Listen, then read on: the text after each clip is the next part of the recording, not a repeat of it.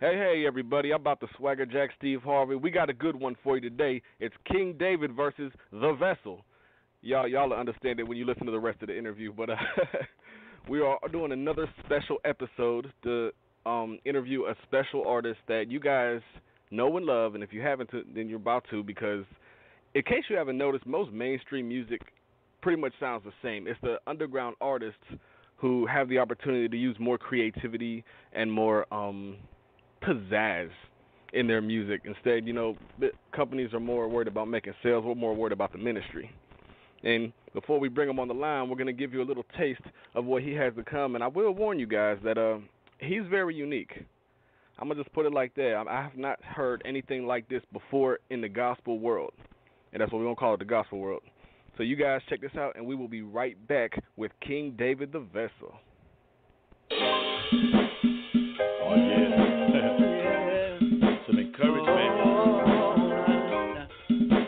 I. All right, all right, All right. I bet you feel like you're out here on your own. And And that you can still do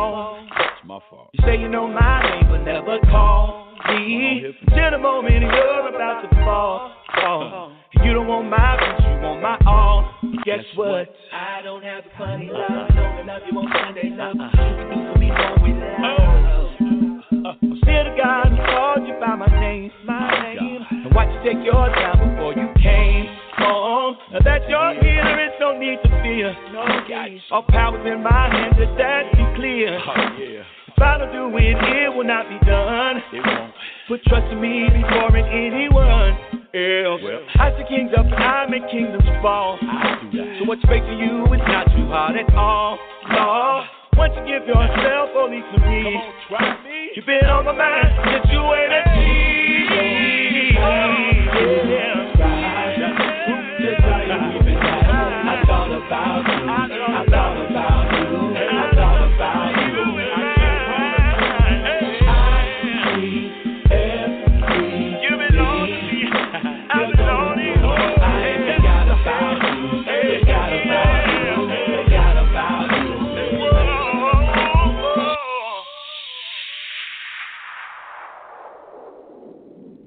Did I tell you or did I tell you?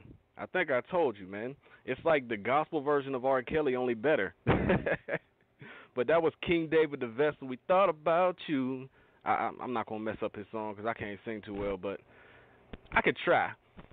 But now let's get down to the real scoop. Let's bring King David on the line and see who King David really is beneath the mask. How you doing, King David? hey man, I'm fantastic. How you feel, bro? Ah, so far so good. Can't complain when you got the Lord. Amen. Amen. So before we get into your background, um, how did you get the inspiration from Thought About You? I'm curious. I mean, outside of the obvious. Yeah, um, pretty much it is the obvious. It wasn't like I was thinking about something in particular. Um, I heard the track, and a lot of times when uh, I know it's a song that I'll use because when I hear the track, I can hear the song. Um, and I think that might have been uh, one of those situations um, where I just heard the song and then, you know, the Lord just kind of laid it all out for me. So uh, I wasn't looking for or trying to do anything in particular um, other than just simply really trying to share, um, you know, God's heart in that instance, uh, you know, with His people. So. Definitely, I tried uh, something similar like that before. It just never worked out for me. I mean, you got you got like a double talent. You're you're a fantastic singer and a great rapper. So I mean, you can mix both of them and just do general everything when it comes to music genres. Well, praise God for that. I appreciate you saying that, man. Nah, no, not a problem at all, man. You got to give credit where credit is due. Now, um, who is King David the Vessel? How did you get your name, and where do you come from? Um, well, I, you know what? Honestly, I didn't even really have the full revelation behind the name when when the Lord first gave it to me. Um, after I rededicated my life to the Lord, um, you know, I used to do music secularly, and um, once I came back to Christ and got a real, uh, you know, relationship with Him, I wasn't looking to do anything from a music standpoint. Um, but with that being said, uh, the Lord would still give me songs, and I would still write, and um, so that that that process started um, back in about uh, 2002, and so um, you know during that time, you know, I would always tag my my songs, you know, written by you know God the Father, you know, Christ the Son, and the Holy Spirit, and then co-written by uh, KD02, you know, and, you know, just kind of like King David in the year 02. And then once I finally really got into um, this, got back into it, um, and kind of really answered the call in regards to it, um, the Lord gave me, you know, King David, the vessel. Um, and then later on, um, I kind of found out what exactly um, was behind it. One, you know, not not only referencing the King David was in the Bible, but referencing um, the royalty um, that we are in Christ, um, and, and you know, being heirs and joint heirs, um, you know, with Him and in Him. Um, but then also too acknowledging the fact that um, the greater the, the office that we have, um, the more of a servant we are to be. Um, and so that's kind of where the vessel comes in, um, simply being used by God to do um, what it is that He would desire. So you have King David the vessel, you know, um, a royal servant, which you know um, is something that uh, you know something that we all should be. Okay. So, what exactly right now is your main focus? What's your main mission? Your main vision? Um, probably more than anything else, again, just to really um, convey God's heart and God's mind in whatever vehicle um, presents and makes accessible uh, for me to do that in. Um, so whether it's music, um, then we do music. Also do some writing, uh, things of that nature. You know, so whatever vehicle of ministry um, the Lord affords me to be able to use, uh, then that's what I want. Um, but again, just really wanting to uh, convey God's heart and God's mind to individuals um, so that we can not only have some understanding uh, about our own situations and circumstances, but also so that we can primarily prioritize God um, His perspective and His vantage point uh, and His voice first and foremost. Um, you know, and how we look at life, and then go from there. So uh, that's that's kind of where I am. Fantastic. Now I do have a question for you. I know I asked you this before, but I'm pretty sure after hearing this much of the interview, everyone's going to be wondering how can you sing the way you sing with that deep a voice?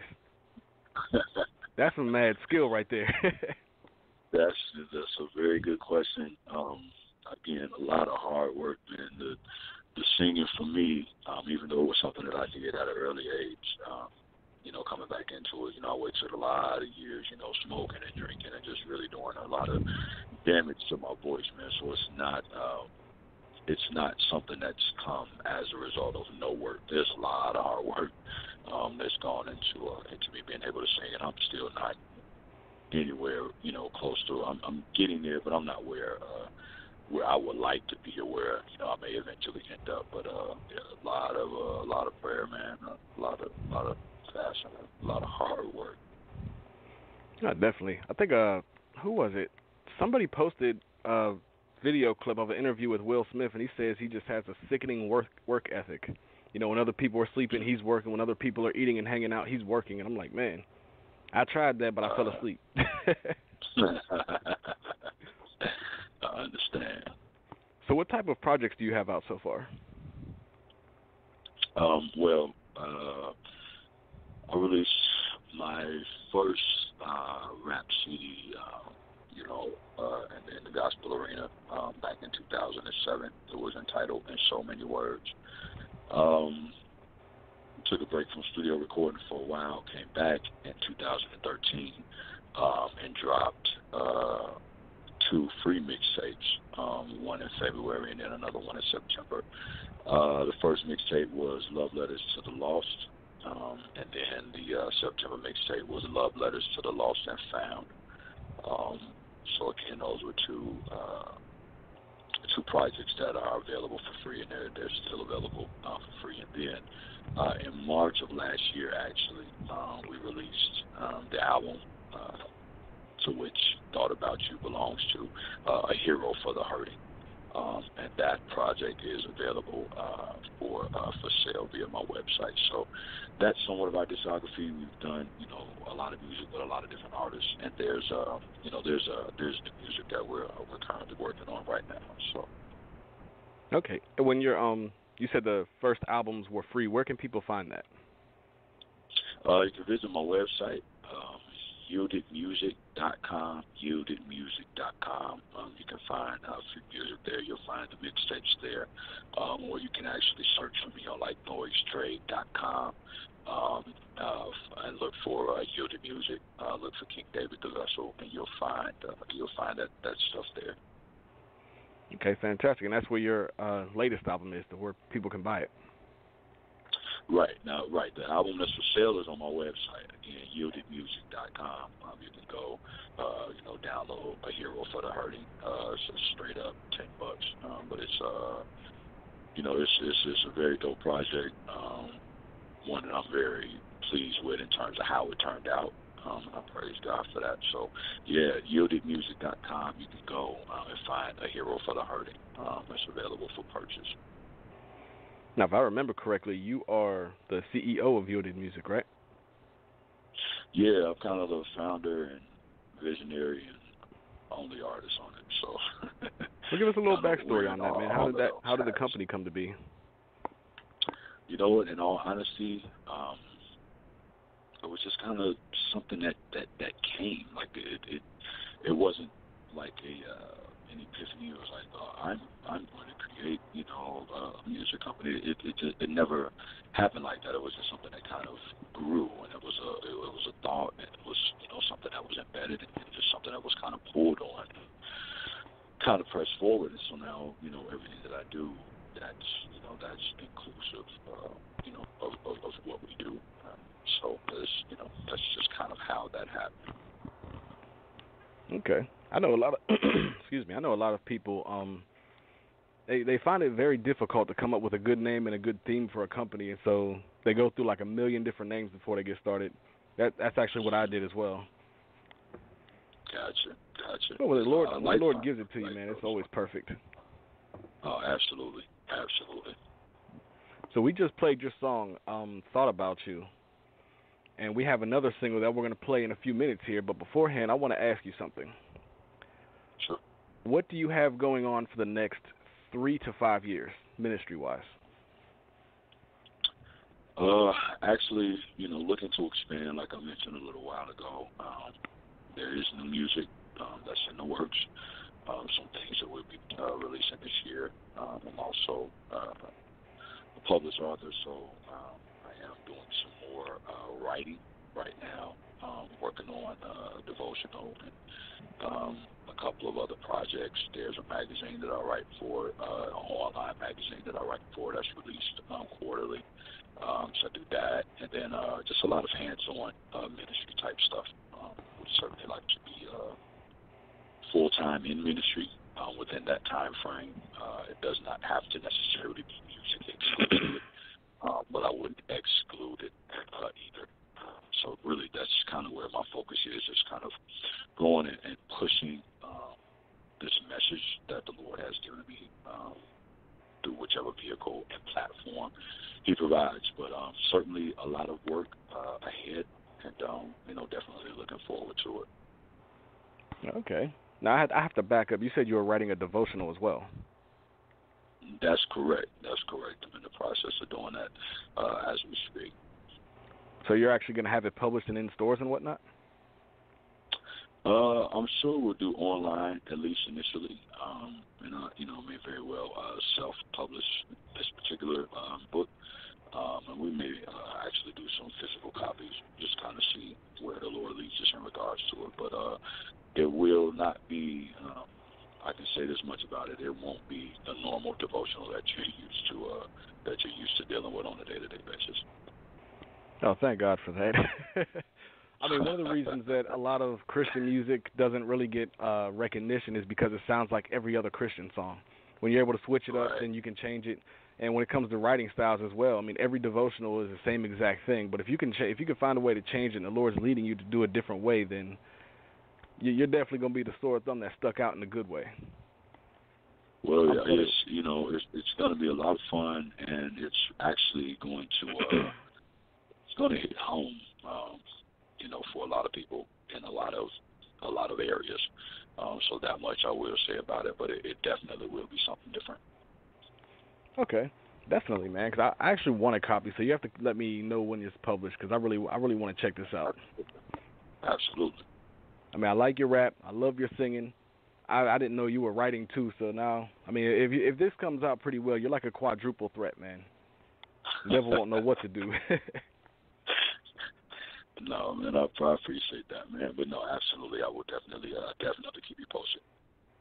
Definitely. Well, let's take a short break real quick, and let's get into your next song. Do you want to tell us a little bit about "Trying to Love You"? Sure. Um, you know, throughout A Hero for the Hurting, we see songs from different perspectives. We see songs from um, individuals who are um, struggling to come to grips with things that are going on around them. We see songs from myself, just kind of as a third party uh, observer.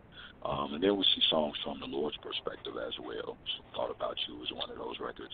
And Trying to Love You is one of those songs also. Um, and it's just, you know, Jesus really trying to convey uh, his desire for us um, and how we make it difficult and, and, and, and harder than it has to be um, because of different things that are going on with us. We withhold ourselves from Him. Um, we feel as though we can give God this area or that area, but we won't give Him everything. Um, and it makes it difficult for us to experience everything that God wants to do with us when we're only giving Him bits and pieces of us. Um, so this song is just really making God's intentions, really making Jesus' intentions plain and clear. Um, it's just simply letting individuals know that you know all I'm trying to do. I'm just I'm trying to love you. um, it, it may be uncomfortable. You may not understand it. It may challenge you. It may correct you. It may chasten you. But at the end of the day, my desire for you is the same. I'm, I'm just I'm trying to love you, and I want to show you everything. That real love is inclusive of that agape love, that love that doesn't fail, that love that covers a multitude of sins, that love that does challenge you, that seeks not our own. I, I want to show you what that love is about. So that's that's kind of what that record entails. Oh man, I was gonna tell everyone they need to definitely check this one out, but I think I need to check this one out. Just from the description, man, it's already speaking to me. man. man. You know, everybody sit down. Y'all about to be into a powerhouse gospel mashup, better than WWE. I'm telling you. but all right, let's check it out, ladies and gentlemen. This is "Trying to Love You" by King David the Vessel.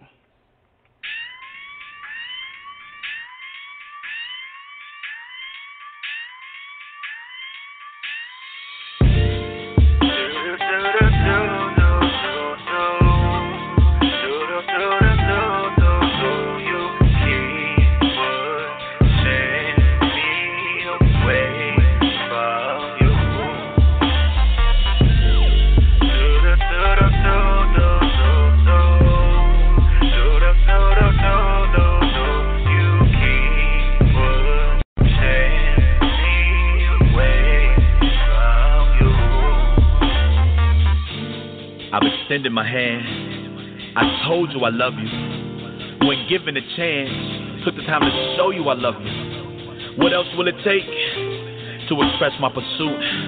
I forget your mistakes. If you're accepting the truth, honest and candid, I want you in my promise and planet. Out that space, comets and planets. I made those, not a problem I can't fix. No drama or antics. Why? Cause I'm a romantic. Who said its effects is on you? The next step is left up to you. What you gonna do? Just because looks good to you doesn't mean it is good for you.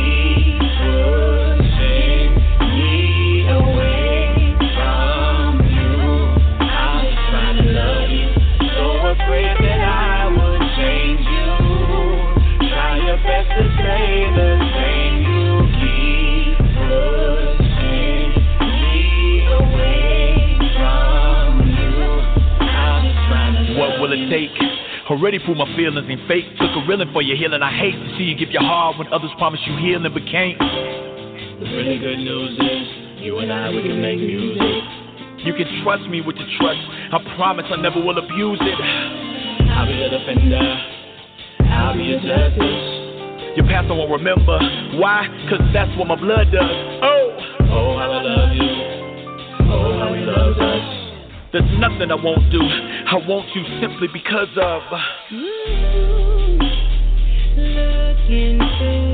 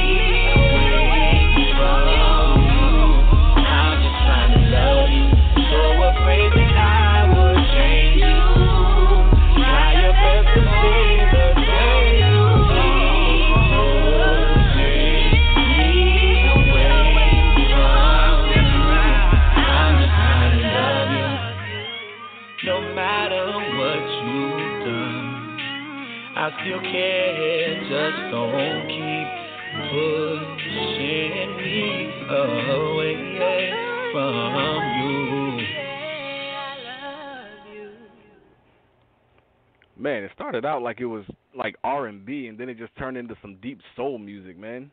I'm telling you, I love that song, KD. I'm I'm dead serious. I know I, I fell in love with Glory 2.0, and all of y'all listening, y'all probably already know Glory 2.0. But man, I just got a new favorite song. Man, praise God, bro. Now, who was that that was singing with you? uh, that's my homegirl, man. My sister Shannae Lennore. Um, uh she's a big time blessing, man, and um somebody that I um collaborate with uh, quite frequently on uh on music, man. So the Lord has really blessed us and we man we, we, we make some really nice music, man. Um You really do. for him together. So I, I I appreciate her, man. She's a big time blessing. I can tell, man. The way y'all were in harmony or harmony together, man. I'm I'm telling you, man. It it's not like this in gospel music. It's not. Normally, it's a bunch of people off key, off tune, just trying to sing like the choir. but man, you got you guys come together very well. You guys should definitely consider doing an album together, man. Man, yeah, that that would definitely be interesting, man. I, I could see that. Definitely, man. Definitely. So, what holds, um, or rather not holds, but what motivates you whenever? And I ask everybody this: whenever the devil's attacking you, man, you know, you just don't even feel like to get up to do anything. You don't have any motivation, encouragement. You're trying to reach out for God, but you don't feel Him, and the devil's just hitting you hard, man. What do you do to overcome that? Uh, Like, what keeps you know, motivated and I- keeps pushing through? Um, one is that uh, I remember that it's not about me, um, and that if these things are going on and they're going on with purpose, um, you know, one of the things that I do use to encourage myself, and I do um, try to make sure that I encourage myself, because sometimes there's no one else around that can encourage you or who will understand what you're going through. Um, and so, you know, it's important that we are able to encourage ourselves in the Lord. Um, but one of the things that I, I, I use to do that is always that, um, you know, if God is dealing with me about something that's going to happen tomorrow or next week or next month or there's things that I that God has told me that I haven't seen come into fruition as of yet. Um, then I realize that what I'm going through and dealing with right now isn't the end all be all. That there's yet a tomorrow, that there's yet promises that are waiting for me and on me. Um, and so I go through you know, and, and I understand that. And I realize that when we go through the right way, we don't go through for nothing. You know, that there is a blessing attached um, to the trials and to the tribulations that we face. Um, and they, you know, they do come in order for us to grow and to learn from them and to be better. And, um, you know, my heart's desire um, and, and, and my thirst and my pain on a daily basis um, is to be everything that I can for the Lord uh, on that day to be where He wants me to be, to be how He wants me to be. And um, again, you know, doing the right thing isn't always the easy thing to do, um, but it is the most rewarding thing to do. So, um, you know, I just trust God, man, and I know that He's greater, and um, I'm, I'm reminded of the things that He's done, and um, that He's brought me through already, um, and uh, you know, just being steadfast and, you know um, using scripture, not trying to use anything else um, to to encourage and you know just just working. You know we can't focus on our issue. You know there's other people who need what we have in us um, that need to be ministered to, even while we're going through and dealing with what we're dealing with. Um, and so again, it's uh, it's it's not about me. And that um that kind of helps. Uh, you know, helps makes things easier to uh, to deal with and get through. Yeah, I mean, a lot of people say it's cliche, but I mean, it's absolutely true, man. God is the motivation. I mean, absolutely, without question, without question, like seriously, because I mean, He's God. You know, whether I'm going through the situation or not, He's God. Whether I have everything or nothing, He's God. And you know, um, I tell people that one of the most difficult lessons to learn, but the most important lesson to learn while in this life is how to trust God with everything. Um, and a lot of times we don't want to get there. We're not there because we don't want to get there. Um, it's difficult to, uh, for us to let go of certain things, to, trust God to supply, to trust God to provide. Um, but you know, when you think about it, why do we have these promises? Why do we have these scriptures that tell us that God will do or that God has done? Why do we have these things? It's so that we can put our trust and our hope and our faith and our confidence in Him. Um, and so, yeah, when it comes down to it, at the end of the day, you know, I love the people that God has put in my life. I love my family. I love, you know, uh, the relationships that I have. I love the gifts and the talents that God has given. But at the end of the day, He is the center. He has to be the center. Otherwise, none of these other things mean anything. Now I have to ask: Do you uh do you do any pastor work or a youth minister or anything like that at your church? Um, I I speak on occasion, um, and not not in the vernacular of necessarily uh, preaching from the pulpit, but um, we do uh, you know we do minister on occasion, and again, like you stated earlier, you know, being concerned about the ministry primarily, um, you know, that's kind of what the focus is. So, um, you know, there are some things that we do, and, and some things in the works. So. Okay, I was just asking because I mean the way you just explained everything, it's like you broke it down in a way that people don't feel as condescending, but they really get something out of it. And I know a lot of a lot of preachers, man, especially televangelists, it's kind of like more like a show than it is actually putting out ministry. And so it's something special when somebody, or whenever you're doing something like that, ministering or music, and somebody just captures your attention, and boom, you just get like a burst of the Holy Ghost in you. It is. So I figured I would ask because you, you really seem like a really good teacher. Uh, praise God for that, man. I do not take any credit at all. And you know what? On that note, actually, have you ever had a fan or somebody listen to music and then they testify to you how your music has actually changed them or helped them through something? Um, I've had that happen on occasion, and um, it's uh, it's very humbling um, because while we we write so that people can be ministered to, um, you may not ever see the end of that ministry. You know what I'm saying? You may not ever see somebody get healed or somebody be encouraged or somebody get delivered as a result of God using what He's giving you to do in order to help bring that to pass. Um, so being able to have individuals come back, you know, and, and not just for music, but across the board. Like if there's anybody in your life that's been a blessing to you or that has blessed you or their life, their walk, you know, their comments, their encouragement has been a blessing to you, you ought to let them know because, you know, these are the individuals who are, you know, walking a walk so that other individuals can be blessed and impacted by that. And so rest assured, they get attacked, rest assured, you know, they, they, they, they come under and deal with certain things. So that encouragement is necessary. So, you know, like I said, I've had it happen on occasion, and it's a blessing when anybody can come back and tell me that anything that I've done has been a blessing to them. Um, that is certainly the strength, man, to uh, and fuel to to keep going. Definitely, man. Boy, I'm never one to kiss up to somebody, but I'm telling you right now, trying to love you, that that really blessed me right there. As I phrased it weirdly before, man, it just gave me a burst of the Holy Ghost. So I'm I'm definitely excited with that now. I'm gonna have to promote Praise that personally. but all right, man, we're pretty much at the end of the show. Do you have any information you want to give out? How people can contact you if they want a collaboration or if they want to book you for a concert, or even shout outs to your friends, family, all the Christians out there hanging with us. Just uh, everybody in the body. Um, just uh, thank you guys, uh, to my family, uh, my church family. Um, you know, if you want to reach out and hook up and connect, you can follow me on Twitter at Yielded Man, Y I E L D E D M A N, Yielded Man. Uh, you can re- check uh, check me out on Instagram at KDTV40.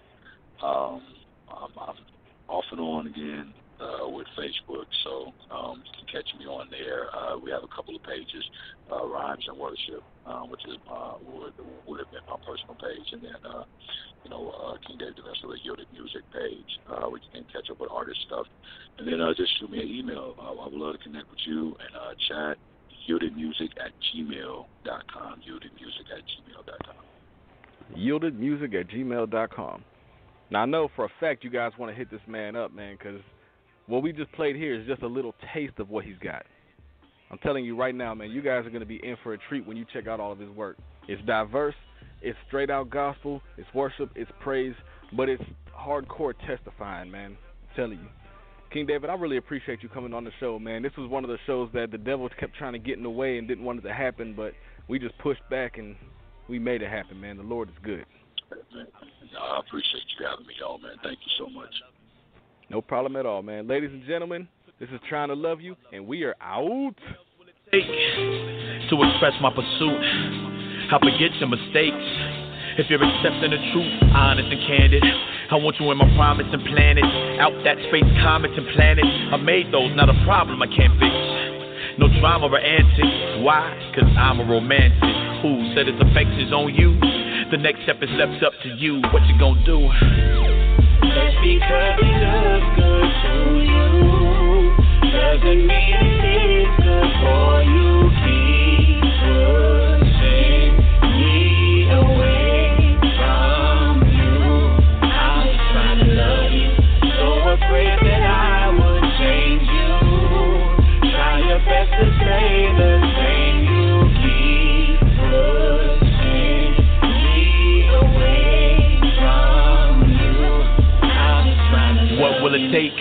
Already proved my feelings ain't fake. Took a reeling for your healing. I hate to see you give your heart when others promise you healing but can't. The really good news is, you and I, we can make music. You can trust me with your trust.